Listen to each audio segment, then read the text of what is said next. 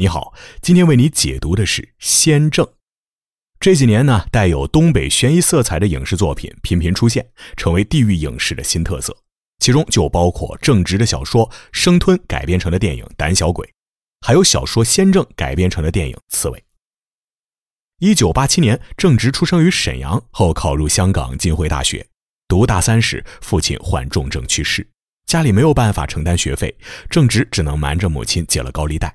等到毕业，这笔钱已经利滚利变成了二十几万。毕业后，郑执学会了用酒精麻痹自己，直到把自己喝进了医院。此时他才意识到不能再这样下去了，于是他戒了一段时间的酒，并在戒酒期间写出了长篇小说《我只在乎你》。幸运的是，小说被一家影视公司看中，买走了版权，郑执就用这笔版权费偿还了债务。真正让郑执火起来的是2017年出版的小说《生吞》。如果说生吞的畅销代表着市场对政治的接纳，那么从先正开始，严肃文学也向这个东北酒蒙子敞开了大门。二零一八年，郑执凭借短篇《先正》获得李匿名作家计划首奖。评委毕飞宇评价道：“我很喜欢这本小说的气质，叙事神神叨叨，但语言很有特点。读完之后才知道是有力量的，不好惹。”今天要讲的这本书就取《先正》为名。其中一共包含六篇小说，而先正的人物原型是正直的大姨夫王振友。大姨夫的离世是正直人生第一次经历亲人的死亡。其余的故事的场景，有的依然在东北，如《他心通》一篇保留了熟悉的地域信仰元素；有的场景已经搬移到了北京，如《霹雳》一篇描述了高楼与高楼、人与人之间的对峙。此外，《凯旋门》一篇是典型的小城失败故事。蒙蒂卡罗食人记则在结尾化为东北严冬纷飞的雪花，旋转飞升，转向魔幻。而篇幅最长的森中有林，跨越三代人的故事，让几种命运以不同的方式连接，构成了一个闭环。在这本小说集中，所有的故事都是以第一人称视角展开的，因此所有故事的主人公都通称为我。先正这篇小说的开始，讲的是一个人高马大的男人在路中央指挥一只刺猬过马路。男人右臂挥舞着小黄旗，左臂在半空中打出前进的手势，口含一枚钢哨，朝反方向拼命地吹。刺猬片刻间会意，猛地调转头，一口气跃上路崖，遁入矮灌丛中。这时，几个女人扑上来，死死扯住男人的后脖领子。其中有一个是被他抢了哨子和小黄旗的女交警，还有一个是男人的老婆，也就是我大姑。那个男人则是我大姑父。目睹这一幕时，我正上初二。早已和大姑父成了忘年交，对于他这种荒唐的行为，我早就见怪不怪了。大姑父名叫王占团，十九岁当海军，躲掉了下乡，却没躲掉运动。运动闹到中间那两年，部队里分成了两派，船长和政委各一队。王占团不愿站队，谁也不得罪。坏就坏在他有说梦话的习惯，在某天夜里大骂船长两面三刀，后又讽刺政委是阴险小人。第二天，王战团就成了海军内部的大叛徒，被关了禁闭。放出来后，嘴里只会反反复复说一句“不应该呀，不应该”。没多久，王战团被以精神有问题为由病退回家。幸好政委后来良心发现，帮他在军工厂找了一份工作。上班几年后，王战团因错过一次小组长的选举，又犯病了。这下只能彻底病退。不过厂里仍几十年如一日的给他按时发工资。王占团病退在家，整日无所事事，不久就和我混在了一起。我是个口吃儿，爸妈带我到处去看，怎么也捋不直这根舌头。王占团却说，在这个家和我最有话聊。后来，王占团接二连三的发病，甚至爬上房顶想从上面飞下来，大姑却说什么也不把他送进医院，还对外坚称自己的老公没疯。大姑经人介绍找到了仙姑赵老师，算出王占团身上背了人命。那是因王战团而死的初恋。当年，王战团和一个知识分子家庭的女孩订了婚，可没多久就被招进了部队。初恋的父亲后来被批斗而死，母亲也在逃走过程中死在了火车底下。初恋几经磨难找到王战团，但此时的王战团已经和大姑成了婚。初恋一气之下跑回农村，嫁给了一个杀猪的男人，天天打她。不到半年，初恋就跳井自杀了。大姑没想到仙姑如此神通广大，因为这件事儿只有她和王占团知道。他立马听从仙姑的指令，在家里供奉了刻着“龙首山二柳洞白家三爷”的牌位，早晚敬香。从那以后，王占团的病情稳定了许多。可好景不长，一天，王占团腿烂了，跟着偏方抓了只刺猬烤着吃。腿是好了，可精神病又犯了。仙姑听说王占团吃了刺猬，发了疯似的大喊：“你知道保你家这么多年的是谁吗？你把我爹给吃了，你就等着死全家吧！”原来龙首山二柳洞白家三爷就是东北五仙之一的白仙及刺猬，这下可算是闯大祸了。没有仙家守护的王占团病情越来越重，大姑怕他出事每天给他灌大量安眠药，让他从早睡到晚。那只烤刺猬我也吃了，口吃更严重了，大姑不得不厚着脸皮请仙姑出手。随着仙姑振振有词地念了一通咒语，我大声承认了自己吃刺猬的罪行。大喊：“白家三爷救此郎！”从那以后，我的口吃就治好了，再也没有犯过。在外人看来，是仙姑高超的法术起了作用。只有我自己知道，这股治愈的力量更多的是来自于王战团。当时，王战团被大姑锁在隔壁的房间里，他不断的敲着门，拍打着墙，一遍又一遍的大喊：“爬呀，一直往上爬，爬过去就是人间儿。”这才让我有了张开嘴的勇气。后来有一次，大姑因忙于照顾孙子，忘了给王战团喂安眠药，他便跑到了马路上。命运里无法摆脱的刺猬白仙再次出现，王战团小心翼翼保护着刺猬，安全躲过马路上的车流，于是便有了开头那一幕。可白仙并没有因此赦免王战团吃白仙同类的罪，他的病情仍然没有好转。而大姑此时又有了相好，便把他送进了精神病院。不久，王占团的儿子王海洋车祸去世，他执念于看儿子最后一面，从精神病院跑了回来。那是我最后一次见到王占团。当王海洋被送进火化炉时，锅炉工大喊一声：“魂已西去，相由心生。”王占团整个人瞬间像被抽空了一样，差点瘫坐在地上。两个月后，王战团没有任何预兆的死在了精神病院，医生也说不出他是因什么而死。这个疯子从此彻底消失在这个世界上。王战团生前有过幸福的体验，他当海军时表现优秀，离成为一名潜艇兵的梦只有一步之遥。他给儿子取名叫王海洋，女儿叫王海鸥，兄妹俩的名字承载了王战团一生的荣誉和梦想。王战团曾经可以自由地遨游于浩瀚的大海中，他的灵魂像海鸥一样展翅飞翔，他是自由的，充满智慧的。可他的下半生却被生活的某些节点给卡住了，再也爬不起来。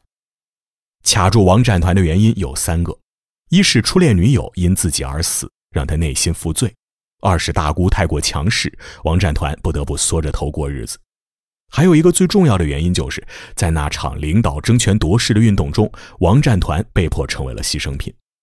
这三个卡点导致他沦落为一个精神病患者，他卡在节骨眼上，卡死了。就像象棋里那颗还没被吃掉的死子。王战团说过：“死子勿急吃，一居十子寒。”或许他心里一直抱着起死回生的希望，可他吃了先的爹刺猬，等于在看到希望时又亲手掐灭了希望之光。他不甘心，他想反抗，但没有直面硬刚的胆，也缺少魄力。面对强权，只会反复地说：“不应该呀，不应该。”他试图在自己的精神世界里证明自己的正确性，不惜以成为精神病患者为代价。他是那个时代沉默掉的人。王战团浑浑噩噩的被喂食安眠药，内心深处却仍然想成为人间。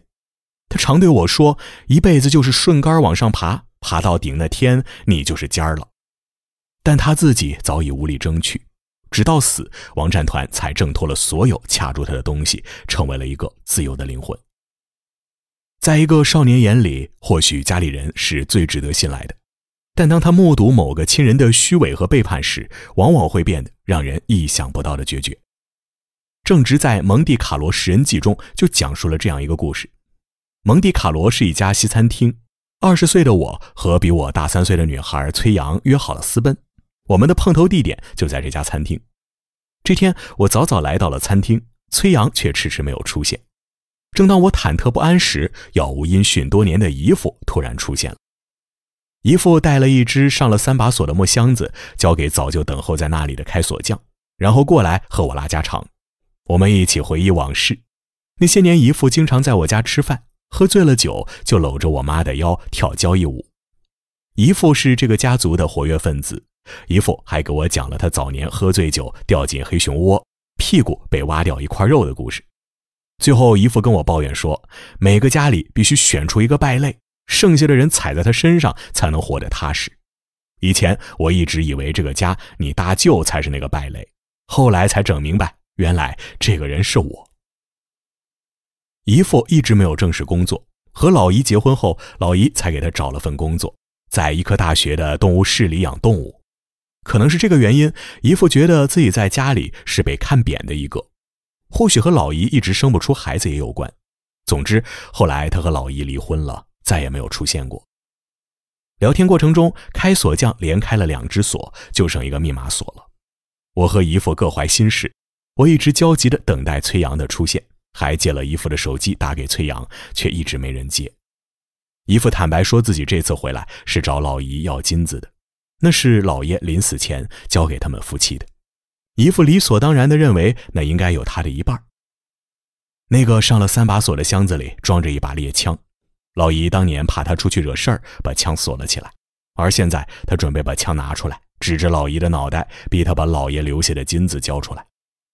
姨父警告我说，就算现在跑去报信也来不及了，因为他等锁一开就会马上行动。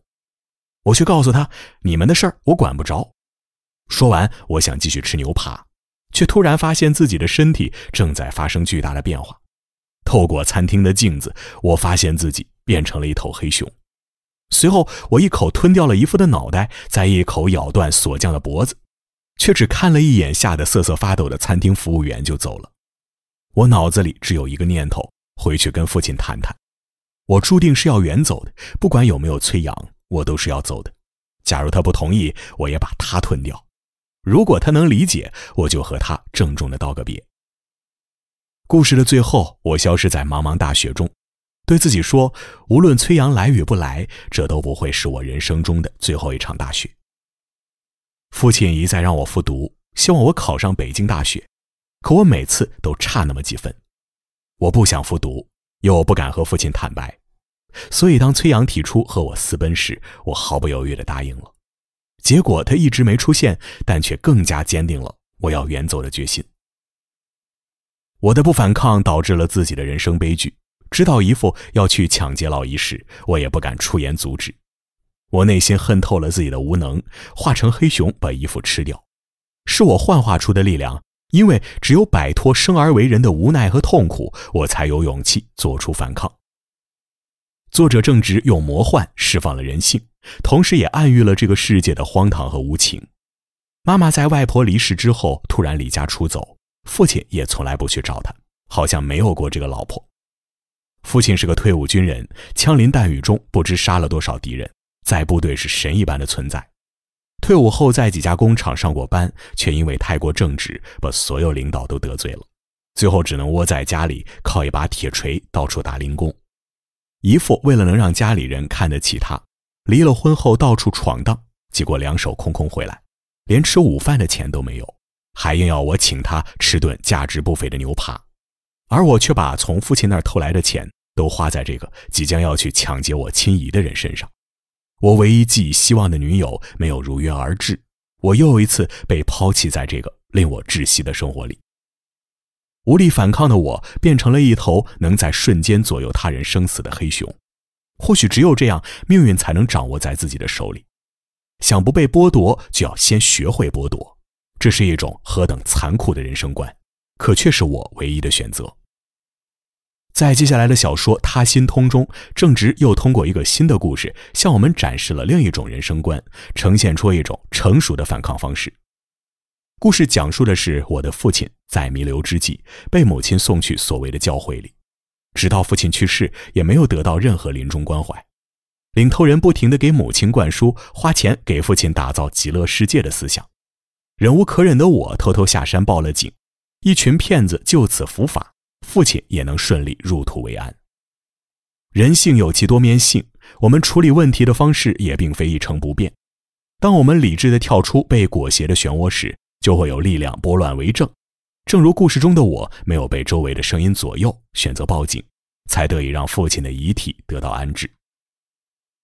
通过上面两个故事，正直向我们展示了两种人生态度，告诉我们人生的选择权永远在自己手上，如何选择取决于你的内心，而不是外力。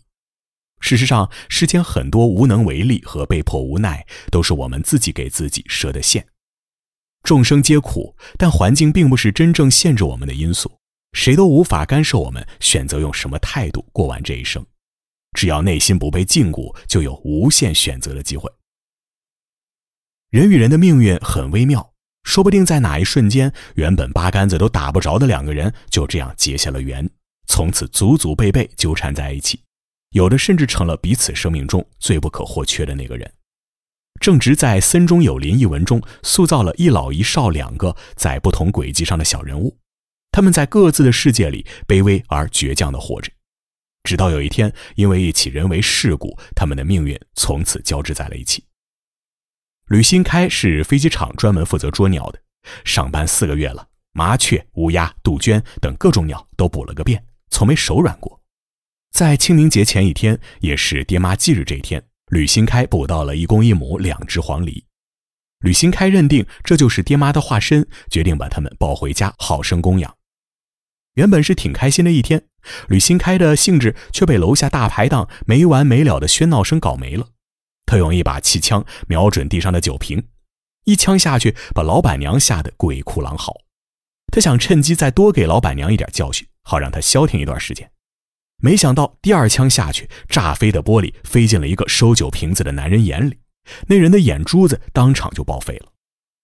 警察挨家挨户的排查，吕新开从他们的嘴里得知，被自己打瞎的是一个老头，无辜的老人因为自己的私愤丢掉了一只眼睛。吕新开自责一番后，决定带上全部积蓄去看看老人，然后再去自首。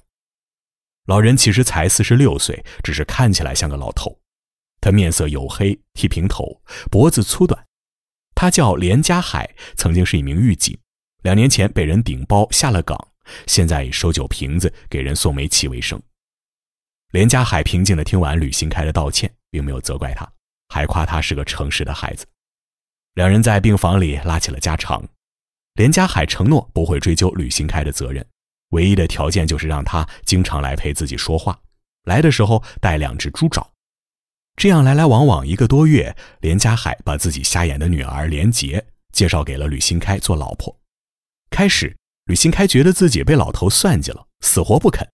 后来发现连杰不但长得漂亮，还心灵手巧，在一家盲人按摩店做按摩师很受欢迎。吕新开很快和连杰确定了恋爱关系，没多久就结婚生子了。婚后两人恩爱有加，对连家海也很是孝顺，还生了一个大胖小子。随着孙子越来越大，单身多年的连家海空闲下来，却做起了春梦。连家海在给中医学院送煤气时，遇到了那里的职工王秀义，对他一见钟情。连家海通过向老哥们魏峰打听，知道王秀义早就离了婚，可奈何有了其他男人，带着前夫的儿子跟一个叫郝胜利的男人住在了一起。郝胜利当年在连家海上班的监狱里几进几出，是远近出了名的恶棍。和王秀义在一起没多久后，却失踪了。连家海觉得蹊跷，便借口给王秀义送煤气，去了他家一趟，发现他正在指挥人把家里所有的地板都撬了，说是地板渗水要换掉。连家海凭借着当了多年狱警的经验，顺着这个线索，硬是从各种蛛丝马迹中查出郝胜利的失踪跟王秀义有关。他让女儿连杰给在警察局的好友送信，可没成想，连杰在等红灯时。被人推到了马路中央，当场车祸去世了。连杰的丈夫吕新开从单位偷了一把猎枪，吵嚷着要去找害连杰的人报仇，结果人没找着，却因偷猎枪被关了一年。接连受到打击的连家海跑到一个荒野里，成了一名种树人。他在种的第一棵树上刻上了女儿连杰的名字，并把茅草屋安在了这棵树的旁边。没多久，连家海的老哥们魏峰来树林找他。承认了自己和王秀义的私情，也坦白了郝胜利和连杰都是自己害死的。说完，魏峰把自己放了老鼠药的酒一饮而尽。连家海按照魏峰的遗言，把他葬在了刻有连杰名字的小树旁。连家海的外孙吕新开的儿子吕旷，长大后成了一名带货主播，因为销量一直上不去，日子过得紧巴巴的。突然有一天，吕新开那无儿无女的姨妈死了，留下几处房产，还有一笔存款给吕旷，一家三个男人的清苦日子也总算熬到头了。一个故事贯穿三代，连家海一生清廉，对谁都宽容，甚至把打瞎他眼睛的吕新开变成了最贴心的女婿。对杀害女儿的老朋友魏峰也没有半句责怪。连家海时常说的一句话就是：“可能有些仇根本没有仇人，我一辈子的仇都不知道找谁报。”唯一令连家海放不下的是让人顶了他公职的贪官，但他告了大半辈子也没能告赢。生命的种种无奈让连家海不得不认命。或许自己的生活本该如此吧。他想，按道理老天待自己也算不错了。起码有这么几年享受到了天伦之乐，孙子吕旷终于活成了一个人人羡慕的幸运儿，从素未谋面的姨婆那儿继承了一大笔遗产。这或许是作者正直动了恻隐之心才安排的情节吧。穷苦而善良的人不该永远看不到出头之日，他们应该被看见、被理解、被帮助，也应该被幸运之神眷顾。